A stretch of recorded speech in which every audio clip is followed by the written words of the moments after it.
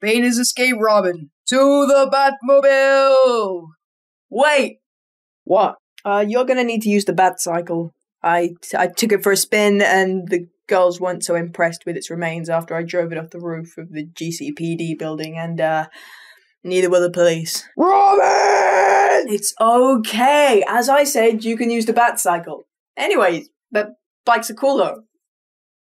Right? If bikes are cooler, why do I make you drive one while I drive the car? Uh, What are you gonna drive? I can sit behind you. Oh, there is no way in hell that is happening. You can walk for all I care. Hey, come on. Okay, screw you. You can forget about Not listening! You're come with me. Yes, I think you might be. Yes, I think you might be.